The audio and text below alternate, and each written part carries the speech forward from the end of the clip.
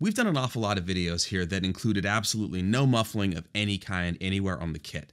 Today, we're going to dig into several locations of muffling on both the snare drum and the floor tom, the effects they have, and ways to mitigate it if it's too much.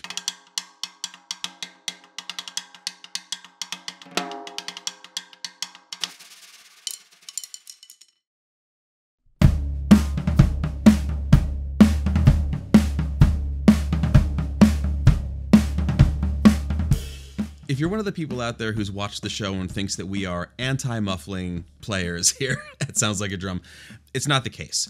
We prefer to think of ourselves as players and musicians who would like to get a good sound first and then use muffling after the fact to sculpt the sound, rather than using muffling as a band-aid to fix the sound of the drum. Today we've got these drums tuned to where we're happy already before we even put anything on them and we're going to get into the muffling location with these gels that we're using today and also what happens frankly when it's not working so well. First, let's hear the drums with no muffling on them at all.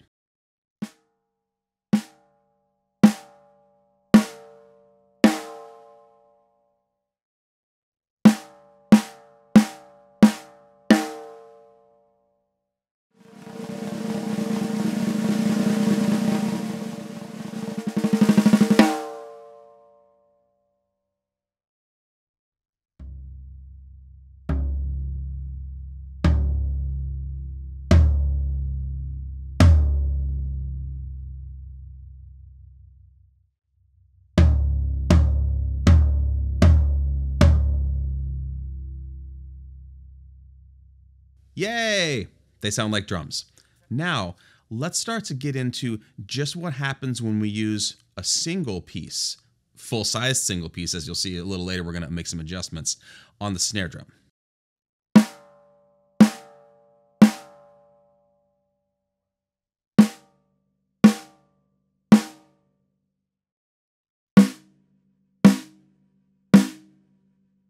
Right away it becomes abundantly clear that one full size piece of this Evans gel is a pretty hefty effect unless we are right at the edge of the drum.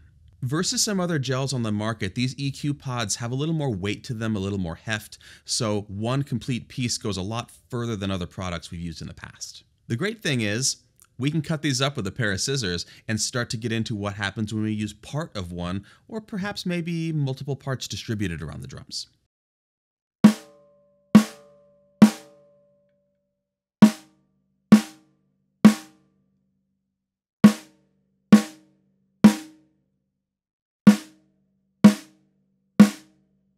This is a lot more manageable and is a lot more focused in terms of exactly what we're getting rid of and how we're sculpting the sound of the drum.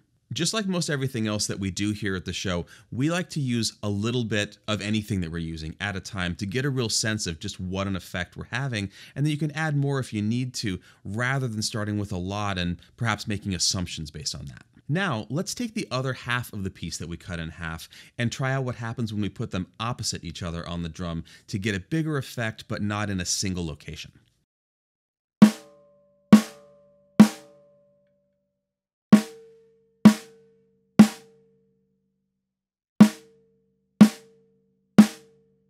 This is working pretty effectively, though I am hearing one prominent overtone, so now let's experiment with having them asymmetrically toward one side of the drum.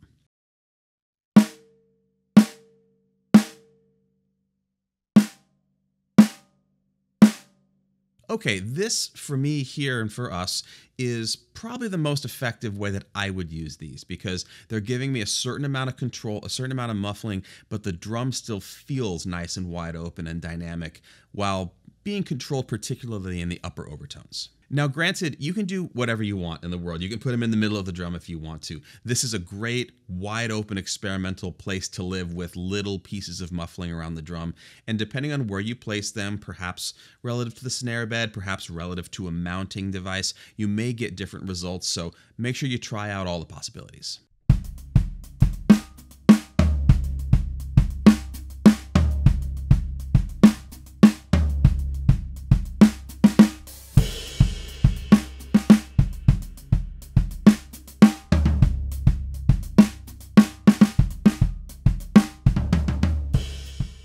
If you're enjoying what you're seeing today, please follow the link below to our Patreon. It's the best way to help us continue to get to make these shows, show you new cool products, do these kinds of demonstrations. There's a lot of options under there. Follow the link and check it out.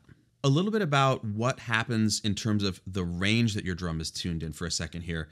We chose to go pretty high with this because these are fairly powerful muffling devices that we're using today. Now, having said that, you can muffle at any tuning range, and plenty of people would prefer a high, wide open drum versus a lower, heavily muffled sound. Your results will absolutely vary depending on the size of your drum, the type of head you're using, and most importantly, how you tune it. So, lower places are going to have a totally different effect with the muffling, and you're going to want to make sure, no, no, matter where you're tuning your drum in terms of its range, that you experiment with placement and amount.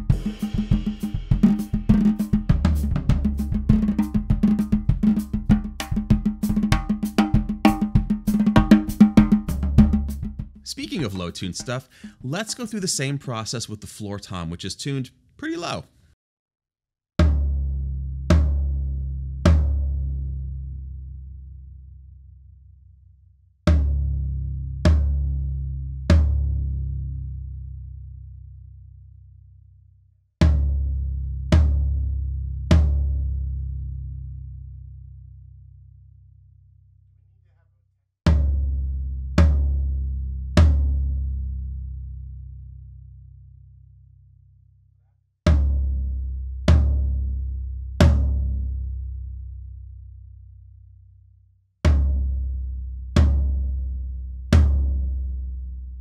First thing to notice here as we move the complete piece around on the drum is that it's having a less dramatic effect than we got on the snare. This is not particularly surprising because this is a lower tuned drum. There's a lot of air moving here. So in addition to it also being a larger drum, more mass on here is having a little bit less of an effect because of that tuning. What this means for us is that we have some options with using a complete piece or we can get into the cut up piece and start to discover what happens when we do different locations with that.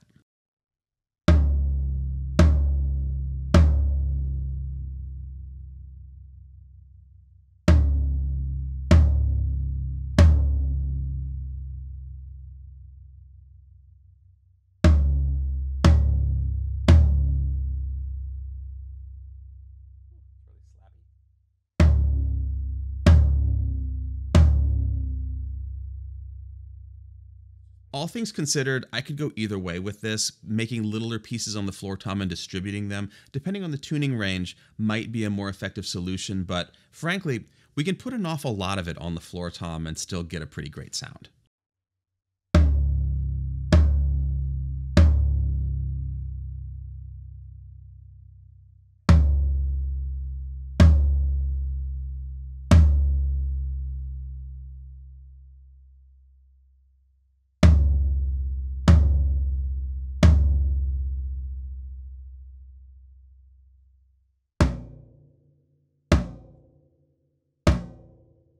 Something to keep in mind when we start to put a large amount of mass onto our batter heads, first of all, is that the dynamic range is going to change. We're lowering the overall volume at a given intensity of strike, whether it's a snare or the floor tom. Additionally, the strike zone that you're choosing on the drum is going to elicit a slightly different sound. So, a heavily muffled drum played toward the edge is going to behave way differently than if we didn't have that muffling on there.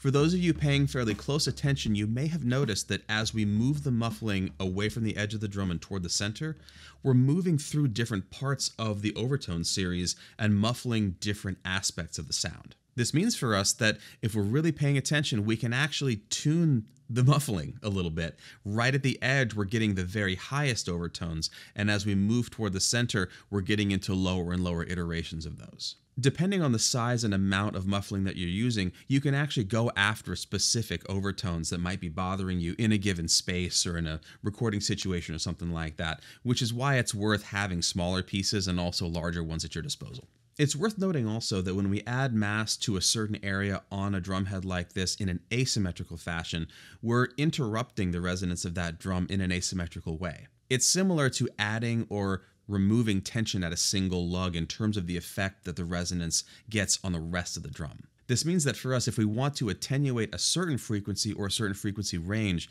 the more symmetrical we can make the muffling, the more effective and directive that's going to be.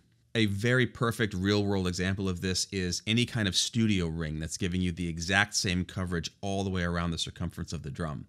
That's going to give you really, really even attenuation of the overtones and sometimes give you almost too much fundamental sometimes. We hope this experiment was enlightening for those of you watching who are big mufflers and also people who never ever put anything on their drums. It just goes to show you that no matter what range you tune them in or what style of music you play, having the opportunity to adjust and mold the sound of the drums quickly, especially on a rehearsal or a gig or something like that, is a tool that we can all use.